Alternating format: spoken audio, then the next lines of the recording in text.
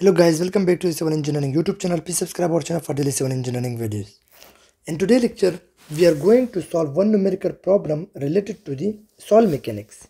So in this problem, we solve out the different unknown parameters for a soil sample. So the problem states that a sample of saturated clay, keep in mind that it is a saturated clay. I will explain this later. So a sample of saturated clay was placed in a container in weighted. The weight was 6 Newton. So this is the one known parameter 6 Newton is the weight of the saturated clay. The clay was then placed in an oven dry for 24 hours and the weight reduced to 5 Newton. So this is now the dry weight of the saturated clay. The weight of the container is 1 Newton. If G is, G means specific gravity is 2.7 then determine the water content the void ratio, the moisture unit weight, the dry unit weight, and the effective unit weight for the soil sample. So in this problem, we can start with the given data, which is the weight of the wet weight of the soil in the container, weight of the container, which is 6 Newton because it is a saturated clay and its weight was 6 newton so it means the weight of the soil in the container is 6 newton because this weight is with container. And then the weight of the soil in dry condition plus the weight of the container when it is dried the weight was found to be 5 newton so this is with the container and weight of the container was 1 newton. So here is the weight of the container was 1 newton. And also the specific gravity of the soil sample is 2.7 so now first of all we find out the water content. This one the first one unknown is the water content. So i'm going to start with the water content how to find this so for this we have to first to find out the wet weight of the soil and dry weight of the soil without any container. So the wet weight of the soil without any container will be equal to the this whole value which is the weight of the wet plus container. We will subtract the weight of container from this so it will be only the weight the wet weight of the soil which will be 6 newton minus 1 newton. Why because 6 Newton is the weight of the container in the soil. So I subtracted only the weight of the container from 8. So now we will get only the weight of the soil, of the wet soil which is 5 Newton. In this similar way we will find out the dry weight of the soil. So in this way we know that the dry weight and the container weight is 5 Newton. So we will subtract the container weight which is 1 Newton. So we will get here 4 Newton which is the weight of the dry soil. After this, we can find easily the percentage of the water content here in the soil sample. It is the wet weight. Let me remove this. So it is basically the wet weight minus dry weight dividing it by the dry weight multiplying with the 100% because water content is always in 100 percentage.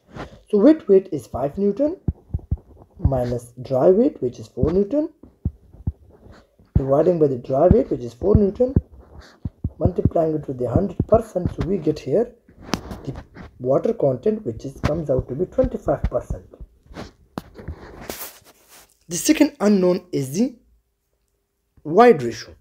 So to find out the void ratio we have a simple formula of degree of saturation the soil multiplying with the void ratio is equal to the specific gravity into the water content.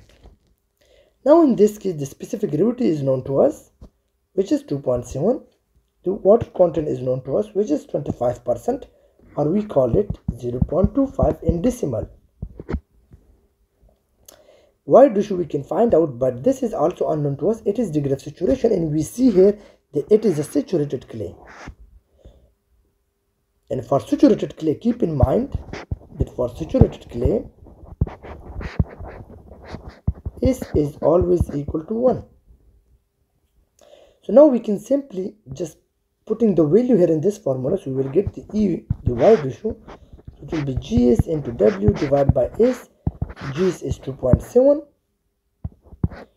multiply with the water content which is 0.25 here dividing by 1 which is the saturated clay.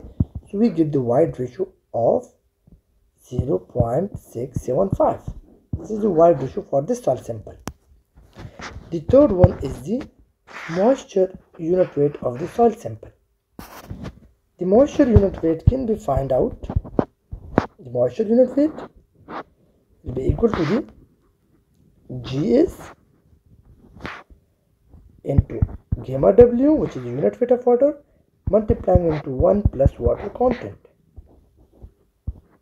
dividing it by 1 plus void ratio now keep in mind that water content here is the one which is the saturated clay and it was 25% or 0.25 so we will just put the value here and we will get our the moisture unit weight now Gs is known to us which is 2.7 multiplied with the w, gamma W keep in mind that the gamma W is 9.8 kilonewton per cubic meter this is the unit weight of the soil sample 9.8 multiplying it with the 1 plus water content divided by 1 plus E. E is 0.675. You will get the moisture unit weight of the soil sample 19.76 kilonewton per cubic meter. The D unknown is the dry unit weight. Find out the dry unit weight. The dry unit weight can be find the dry unit weight can be find out very easily it is equal to the moisture unit weight divided dividing by 1 plus water content moisture unit weight we found out 19.76 dividing by 1 plus water content which is 0.25 so we got a dry unit weight of 15.8 kilonewton per cubic meter the last one is the effective unit weight of the soil sample keep in mind that effective unit weight of the soil sample is always equal to the, the saturated unit weight of the soil sample minus the unit weight of the water. So saturated unit weight was 19.76 minus unit weight of the water which is 9.81. So if we subtract this value we got of 9.95 kilonewton per cubic meter. This is the effective unit weight of the soil sample. So hope you guys understand by solving a numerical problem related to the soil mechanics that how to find out the different unknown parameters if you know the sum of the given parameters. I hope you guys understand and don't forget to subscribe our channel for daily civil engineering videos. Thank you for watching our video.